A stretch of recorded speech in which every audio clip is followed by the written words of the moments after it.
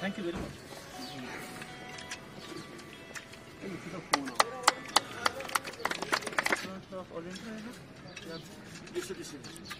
Sir को वो भी लगवा दीजिए उसको बोर्ड को टर्न कर दीजिए ना बेटा।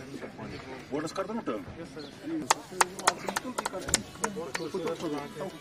सर ने तो एनआईटी में भी हमें इंकरेज किया था। चलिए सर आइए सर प्रिंसिपल साहब आइए ना।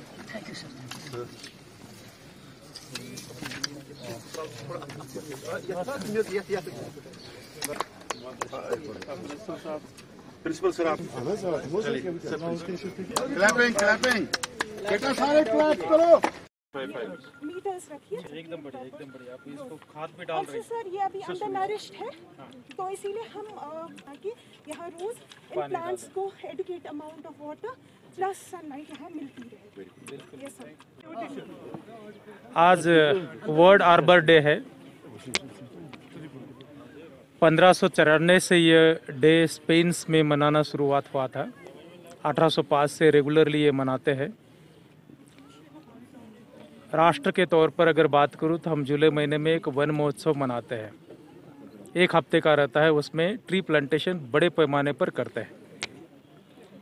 जुलाई में करने का कारण ये है कि क्योंकि मेजॉरिटी पा, पार्ट में जो है जो मानसून से बारिश मिलती है जून महीने में स्टार्ट होता है और जुलाई महीने में उससे चलते प्लांटेशन होता है।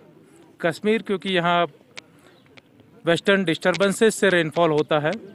नॉर्मली यहाँ जो प्लांटेशन का सीज़न है वो मार्च, अप्रैल और फिर अगस्त, सितंबर में रहता है। उससे चलते वर्ल्ड आर्बर डे पर, काफ़ी बड़े पैमाने पर यहाँ प्लांटेशन हो रहा है। आपने सुना होगा कि हमारे जो रीजनल डायरेक्टर सोशल फॉरेस्ट्री है, उन्होंने कहा कि अभी तक सिक्सटी थाउज़ेंड उन्होंने प्लांट्स, प्लांट किए हैं श्रीनगर सिटी में।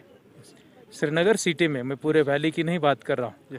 और वो जो है आने वाले दिनों में पंद्रह हज़ार उसमें और इजाफा करेंगे ताकि सेवेंटी फाइव थाउज़ेंड प्लांटेशन हम इस साल स्मार्ट सिटी एरिया में करने जा रहे हैं। कंट्री इस साल सेवेंटी फिफ्थ एनिवर्सरी मना रही है।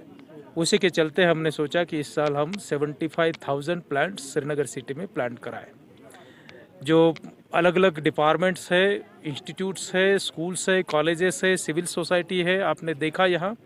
इंक्लूडिंग एन एस वॉल्टियर्स है, इसमें काफ़ी बढ़ चढ़ करके हिस्सा ले रहे हैं। मैं उन सब का शुक्रिया अदा करता हूँ और उनको बधाई देता हूँ कि जो टारगेट उन्होंने रखा है, वो डेफिनेटली हम अचीव करेंगे शुक्रिया थैंक यू थैंक यू